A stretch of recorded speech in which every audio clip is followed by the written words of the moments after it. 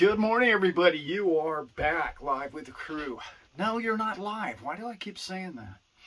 Anyway, you're live. Hopefully, we're all good and live today. Today, as you can probably see in the title, um, and as you can see, you know, she's back. And yeah, it's a little gloomy and rainy out there. It's good. We need it. We've had a lot of rain, but it's good to have more. you know, not building an ark yet, but you know, it keeps raining. It's a good thing. Today's video is really about uh, government and what what I feel is uh, everybody's favorite thing to complain about. we we no matter what side you're on or don't even like government, we all got something to complain about with our government. They do a lot of really good things. They try. They try and keep everybody safe. I know it's in their heart. However, the way they go about things sometimes is just like, you've got to be kidding me. like, that's a new all-time low. But anyway, today re refers to crypto. And one of the things I talk about so much on this show, and it's so important to you and I, and they don't seem to get, is how important crypto is to their future you know, Miss Warren and Mr. Buffett and all these people are so like they're older than I am for God's sakes. And they're like telling people what the future is. You can't base the future of tech uh, on current today's technology. People try all the time. Oh, well, we know where the world's going to be because this is the yardstick and the parameters in which we have to go by. So we know what the future is going to be. It's never like that. Never like that. Um, one of my favorite uh, uh, tech guys uh, a couple of years ago mentioned uh, Jeff Booth. I don't know if you know who he is. I talk about him on this show. He uh, wrote a really good book, The Price of Tomorrow he he pointed out that technology doubles, okay? Not technology. Information, the storage and the computing power of the internet and tech doubles about every 18 months.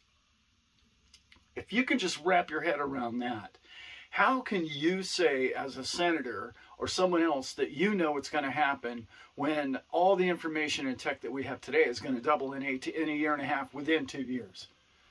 There's no way. You can't even write a bill that's going to be like. Anyway, now I'm babbling on about that. I want to talk about the SEC, everybody's favorite complaint department. They've lost their minds. They're let me let me go into this rant appropriately. Sorry about the shaking camera.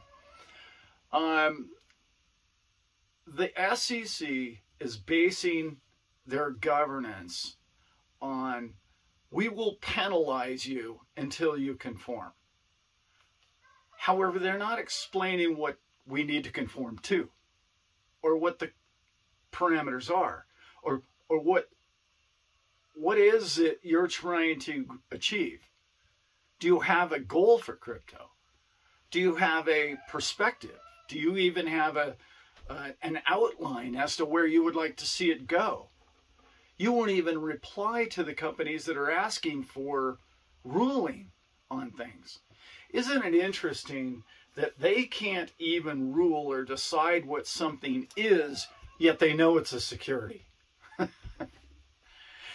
And yet we don't really know how to rule on something, but we know that you're doing something wrong. How do you know somebody's doing wrong if there is a rule? I mean, I don't, you know, the ridiculousness of it all is beyond understanding. They clearly are shooting from the hip. They're clearly just trying to enforce things. And they're just, I really believe, I, this hit me the other day.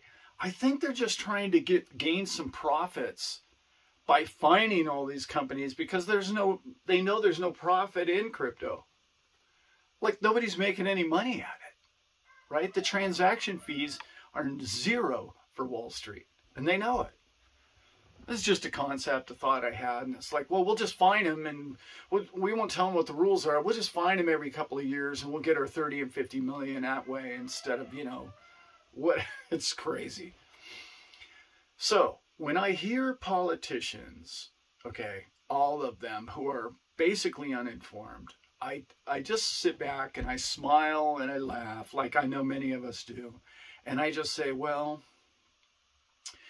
you may or may not currently own crypto, but you will. You can either own it today at today's price, or you can own it the price it'll be five years from now. Good luck with that. That's probably not going to work out so well for you. Because, see, the whole world is grasping what's going on with the financial network, the dinosaur that it is. And it's being consumed by technology. The technology that I was just talking about that doubles every year and a half. And I've talked, my son and I talk about this. We did a video on it uh, a long time ago about the only thing the banks have ever created was a debit card. Think about that. In over a hundred years, they've had they came up with a debit card, which already is somewhat archaic at this point. These people who are trying to figure this out, instead of coming to people in organizations like the ones that you and I know and the people that we support and the tech that is growing around them, they're holding suppressing that and holding that down and keeping that information from themselves in hopes the fact that it won't ruin the rest of their lives which is it's going to do. It's it's going to put these people in a place of hey weren't you the person that said it's sort of like Janet Yellen. Wouldn't, weren't you the person in 2018 that said well, we would never have a recession ever again? Weren't you that person? Look how much credibility she's lost. Do you really want to be a, somebody in our, our government that is writing bills and passing laws about crypto and stuff that you don't even know what you're talking about and you're trying to suppress something that is inevitable inevitable happening is coming. This is coming. This is a global experience. Today I was just listening to a great show that I listen to occasionally, and uh, he was talking about um,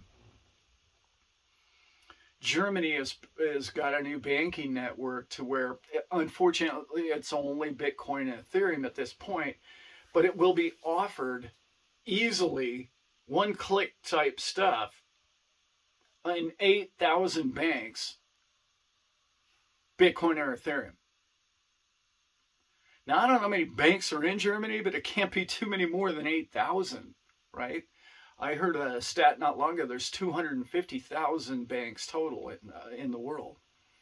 So I would imagine that's about every bank in Germany you're going to be able to buy uh, those two uh, crypto anytime, well, while the bank's open and through your online banking, I'm sure.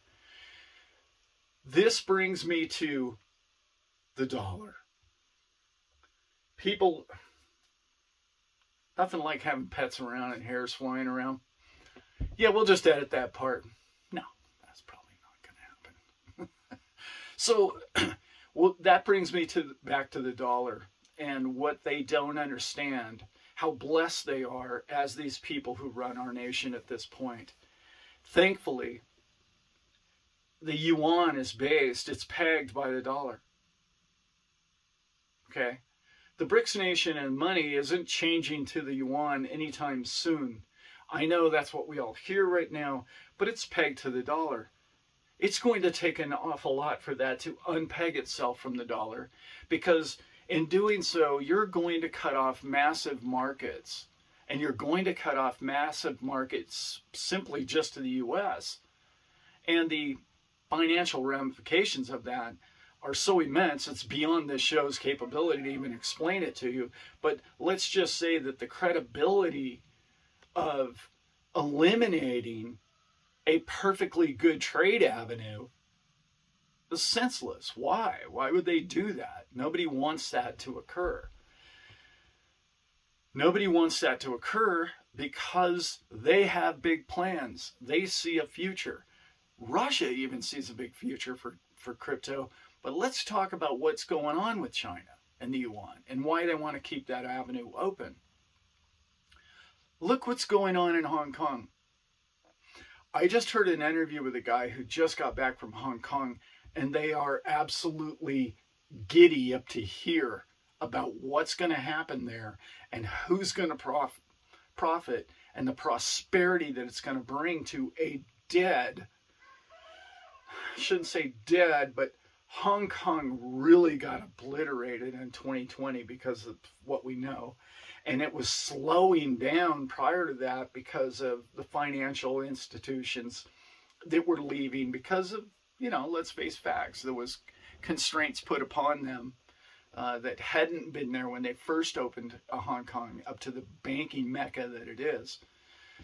It now has a new toy.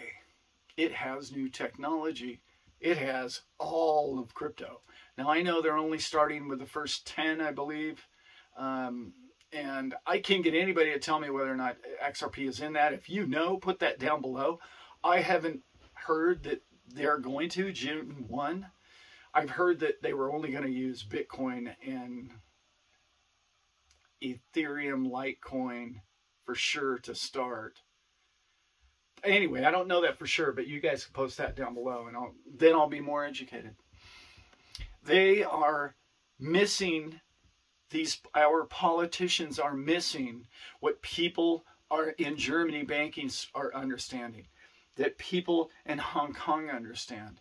These people are chomping at the bit to try and get themselves involved in this technology that's headed our way. It's inevitable and they know it. And it is prosperity, it's employment, it's job creation. Let's even go down their narrative, which is green job creation. Think about that. They're stifling an industry that is green that let's just back up the truck a little bit and, and ask ourselves what are the two most prof- profitable industries over the last 20 years of our lives? I would have to say Silicon Valley technology, okay? And I would have to say finances. Well, what does crypto do? Crypto adds those two together in a beautiful, decentralized, hopefully, package in which everybody globally can get behind because it's not associated with a nation. If that doesn't make your mind explode, you're going to take the two most profitable industries and create a new, brand new industry that everybody in the world can get behind? like I'm sorry if you're 80 years old and you're in the Senate and you can't figure that out. But that is prosperity. That is job creation. That that is taxation for you, which you people seem to really appreciate. That is nothing but opportunity for the US dollar who is being battered about globally by everybody talking about gold and BRICS nations and and the yuan Let's remember crypto is completely pegged to the dollar. Everybody associates, I know, I know I'm talking from America here, but everybody associates the value of Bitcoin with the value of a dollar. That's, you've been gifted that. You're looking a gift horse in the mouth and you're throwing the horse away. You have this massive opportunity and you can't see it. You you're denying it because I don't know, maybe a few of these lobbyists have taken you to lunch lately or you're golfed out last weekend or what I don't know. But you have to ask yourself, is the money worth it to you? Are you really being paid enough to be the fool? to, to not see prosperity for mankind? Is it really enough for you to be paid by those lobbyists? Do you sleep well at night with that? How is it that you can do that to your fellow man? I'm begging you to reconsider. I'm begging you to find a way to not be manipulated by the other senators and the Congress people in the room who are just bought out, sold out. They're going to lose. Like I said, it's a matter of when, not if. It's a matter of when. And it's global. And those lights are bright this morning. Holy smokes. now I'm ranting. Now I've gone preacher mode on it. But I really, how can you tax us? How can you tax us on capital gains on this product and then do everything possibly in your legislation and your legal terms? Of, oh, you won't. Oh, you won't tell us what the guidelines and the rules are. Simply just fine us. How do you represent us and tax us? How do you do that? How do you sleep? It's annoying. You you need to ask anybody watching this video just the simple question. Does it just mean getting rich for everybody in the world? No. No, it doesn't. It means changing the world. It means changing the banking monopoly, monopolies that have dominated who succeeds and who loses on this planet. Who gets the loan, who can't get a loan. Who gets a bank account. Why? Why is it the only people who get banks bank loans are the people that don't really need them? Why is it the people that really need the loan or need prosperity or need the help or need the helping hand that a loan could change their lives can't qualify and don't get them? Crypto's looking to eliminate that tyranny on the face of this planet. It's going to happen with or without you. And I understand why you want to slow it down. And I do understand the threat that you're under. And I know why that it must not be easy to come up with new reasons of how it's, oh, well, only criminals use it when it's on a blockchain. When why would a criminal ever use that? And how do you look the American people in the eye and tell them that?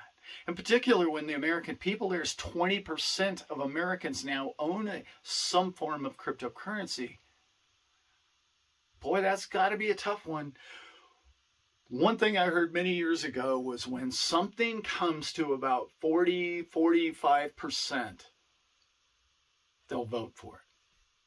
They'll switch, they'll flip. And I believe it was when 45% of the people in the US wanted legalization of marijuana, they legalized it in certain areas. so, I don't know. Maybe then, Maybe only then. I don't know. Banking monopolies being what they are. It was just a story that I wanted to go over because I'm so passionate for you and I about what we know, about where it's going. And sometimes our families don't hear it, as we all know, but it's coming. I know it's coming. They know it's coming. We are the leading edge of why it's coming. And one day, it's just going to be everyday common knowledge. And, well, that day isn't coming soon enough, but it is coming because I can feel it, I can sense it, and I know it. And, oh, before I go, I have great news. I booked it. I'm going to Vegas. I'll be there May 5th and 6th and the 7th. Uh, no, I'm leaving on the 7th. On May 5th, I'm going to be uh, now, maybe I shouldn't give that out completely, but if you want to know where I'm going to be uh, on Friday, the day before, okay, I'll be there and you can meet up with me. You can go to my site, uh, or uh, yeah, that's the best way to get a hold of me. And you can find out where I'll be that Friday, and maybe we can meet up, and maybe I can, uh, I don't know, have a drink with you guys.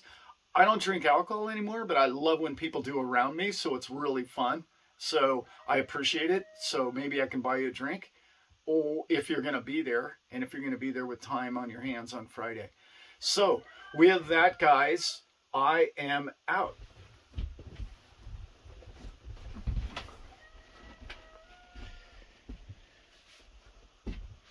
So, years ago, you know, when our government thought of us as men and women, they used to call troops men. We have to send 10,000 men overseas. And then they called them troops. And then they call them boots on the ground. You have to ask yourself do they respect you? Do they care about you as a man, as a woman?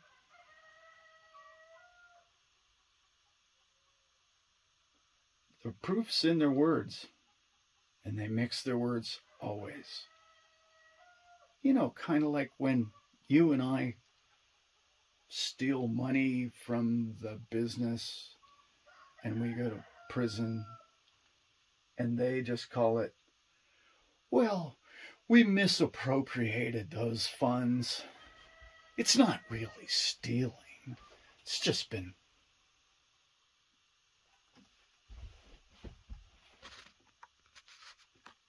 misappropriated.